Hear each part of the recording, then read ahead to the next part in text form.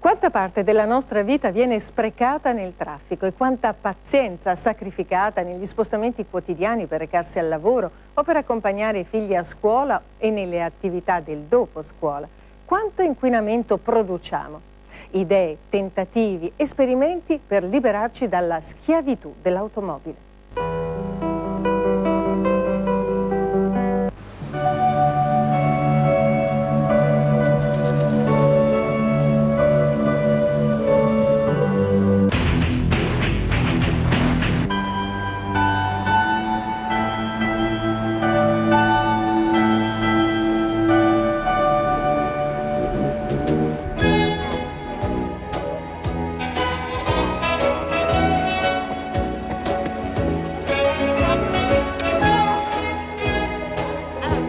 Automobile no grazie. Per andare a scuola e ritornare a casa a Reggio Emilia, un centinaio di bambini prendono il bicibus, un trillante serpentone colorato che sfreccia lungo percorsi e attendono alle fermate.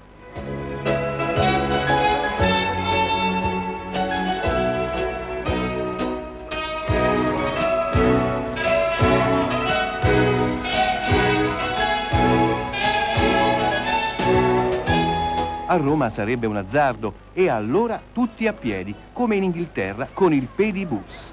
In fila, quasi un gioco, sotto l'occhio vigile dei volontari. Un mezzo che non inquina, davvero economico per mamma e papà che, lasciando l'auto a casa, tempo, benzina e stress.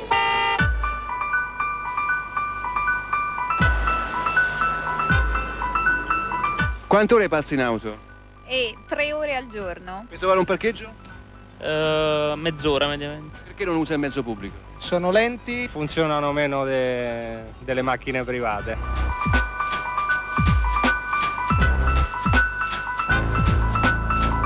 Una mamma con un passeggino, come si muove nel traffico? I bambini respirano molto peggio perché sono proprio a livello della, dei gas di scarico. Ecco.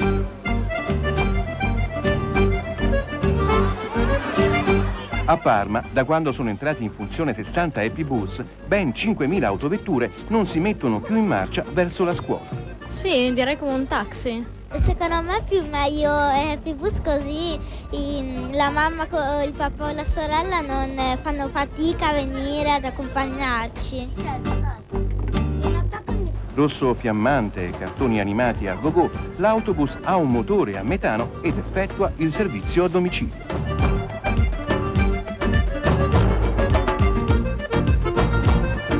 In fatto di mobilità a Parma, 170.000 abitanti e 140.000 multe in un solo anno ha molto da insegnare. Alle porte della città si può lasciare l'auto nei parcheggi di interscambio e salire su puntuali navette per raggiungere il centro, dove la sosta è vietata oppure il filobus. Su e giù. Quattro pistoni ad aria compressa salgono e scendono impediscono l'accesso alle macchine e lasciano sfilare il mezzo pubblico. Pedalando, pedalando non si inquina, non si è mai fermi in coda, non bisogna cercare parcheggio per mezz'ora, in bici si notano molti dettagli della città che al volante non si vedrebbero mai e si diventa più romantici.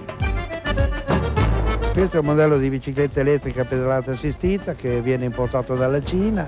La velocità di circa 20 km h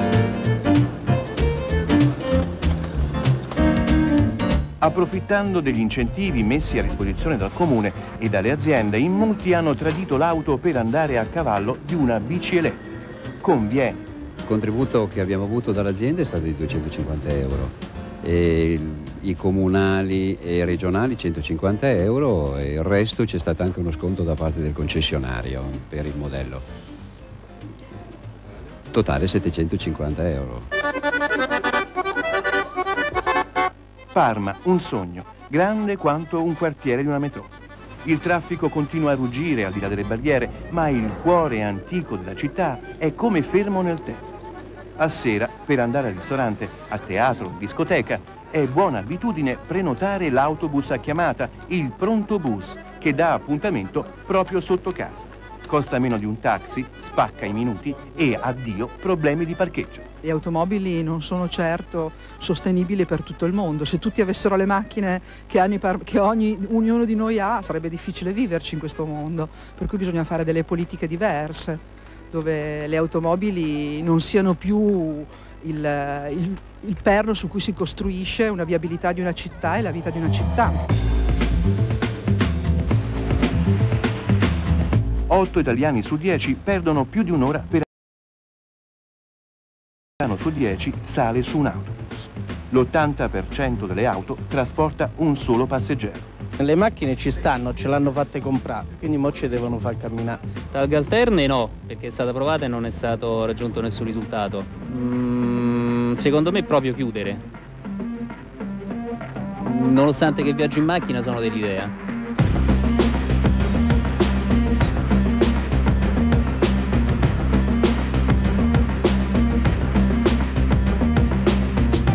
In città si vive ormai come in apnea, si respira solo di domenica.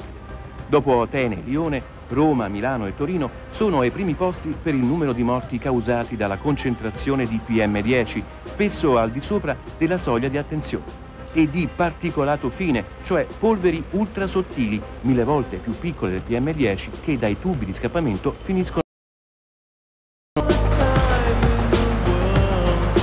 sono i mezzi di trasporto collettivo che devono dare una risposta. Ci sono i treni, in particolare i treni locali, che sono, io penso, una delle risposte migliori per il futuro. E poi ci sono i sistemi di trasporto come i nuovi tram, i metro e così via. Queste sono le risposte, diciamo così, per i grandi, per i grandi numeri.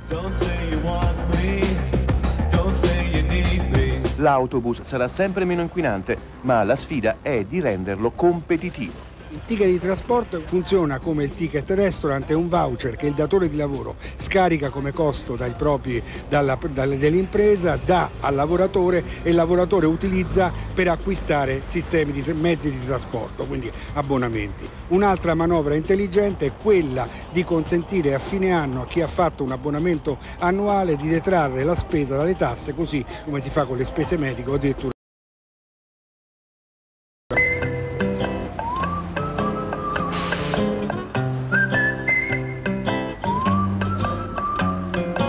In ogni azienda con più di 300 dipendenti è d'obbligo dal 1998 la figura del mobility manager. Ha il compito di organizzare i trasferimenti casa-lavoro dei colleghi utilizzando contributi del Ministero dell'Ambiente. In ufficio si va tutti assieme in navetta. La navetta è utilizzata da circa 60-70 dipendenti giornalmente su 250 che lavorano nella sede di Tor di Quinto. Per quanto riguarda gli abbonamenti siamo riusciti a dirottare 500 persone dall'auto al mezzo pubblico attraverso delle facilitazioni economiche sull'abbonamento annuale.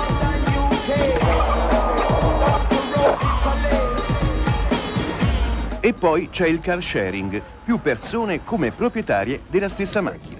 Un abbonamento mensile, grande varietà di city car e monovolume, si pagano solo le ore passate in auto e non la benzina. Il car sharing, una iniziativa delle aziende comunali di trasporto, è già realtà a Torino, Genova, Milano, Rimini, Palermo e Bologna. Il car sharing ti consente di avere diciamo, una doppia possibilità entri gratuitamente nel centro storico e parcheggi gratuitamente nelle strisce blu dove il parcheggio appunto è consentito a questo tipo di mezzi. Se uno usa eh, il car sharing diciamo un paio di volte alla settimana eh, rispetto all'auto di proprietà risparmia tre quarti almeno del costo annuale, è un risparmio consistente.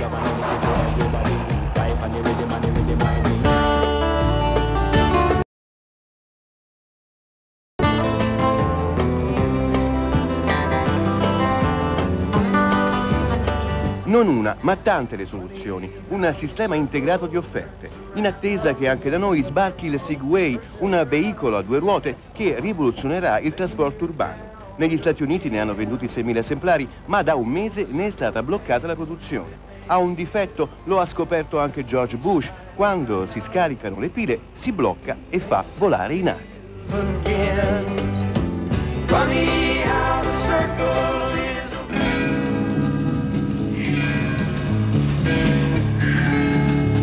Lasciare l'auto a casa è possibile, ma rimarrà un'utopia fin quando non verranno creati, la piccola Parma insegna, parcheggi, trasporti leggeri, alternative comode, veloci e convenienti all'uso esagerato delle quattro ruote.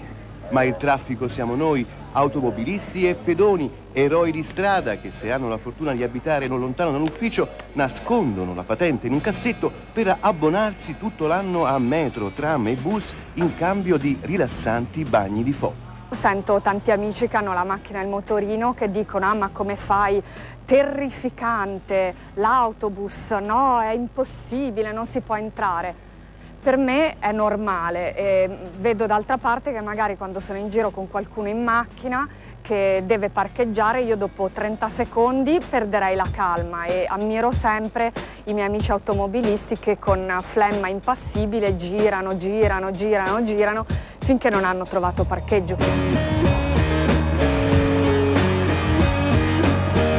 L'inferno è a un passo, una guerra quotidiana, tutti contro tutti. Strombazzano i clacson, non si passa. Un centinaio di ciclisti pedala al centro del viale. Sono i figli della Critical Mass, un movimento nato nel 1992 in California che ogni ultimo venerdì del mese, così ieri, notte delle 18.30, inforca le due ruote per rivendicare il diritto alla mobilità. Una massa critica, provocatoria e giocosa, l'esempio più estremo di conflittualità urbana. Siamo stufi di vivere in una città piena di macchine dove respiriamo tutto questo smog e ci stiamo uccidendo. Noi siamo il traffico. Come girano le macchine possono girare i velocipedi. Tutto qua. Qualcuno perde la bussola, ma la maggioranza degli automobilisti, allenata a ore e ore di coda, è quasi divertita da un inaspettato spettacolo on the road. E allora, persino il traffico strappa un sorriso.